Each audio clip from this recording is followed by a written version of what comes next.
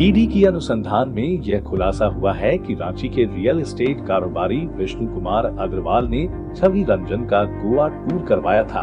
उसने गोवा के ताज फोर्ट अगवाडा में उनके रहने खाने की व्यवस्था की थी। इसके लिए विष्णु कुमार अग्रवाल ने अपने कर्मचारी के माध्यम से दिल्ली के एक ट्रेवल एजेंट को नकद में भुगतान किया था। इस बात का खुलासा ईडी ने विष्णु कुमार अग्रवाल के जब्त मोबाइल के डेटा से किया है, जिसकी फोरेंसिक विश्लेषण से ये तथ्य सामने आए हैं।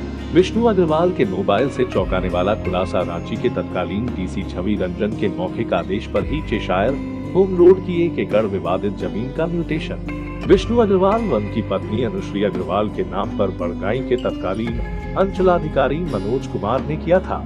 ईडी ने गत 4 नवंबर 2022 को विष्णु अग्रवाल के ठिकाने पर छापेमारी के दौरान उनका मोबाइल जब्त किया था, जिसके डेटा से ईडी को बहुत जानकारियाँ हाथ लगी। जिसमें छवि रंजन के गोवा टूर का ब्यौरा भी था।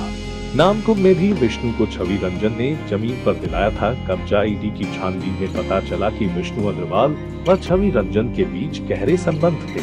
छवि रंजन ने विष्णु अग्रवाल को नामकुम मौजा के पुगड़ू में खरीद बिक्री नहीं होने वाली ज़मीन पर अवैध तरीके से कब्जा दिलाया था।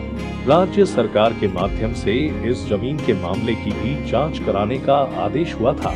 इस बीच ईडी ने छवि रंजन को लेकर एक और खुलासा करते हुए कहा है कि बड़गाई मौजा की एक ज़मीन के लिए उन्हें रिश्वत में एक करोड़ रुपए मिले थे।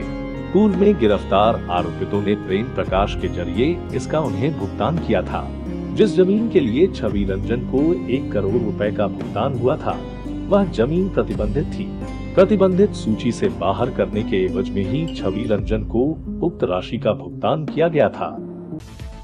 अपने राज्य से जुड़ी हर ताज़ा खबरों के लिए आप हमें सब्सक्राइब करें, साथ ही बेल आइकन बटन दबाना ना भूलें।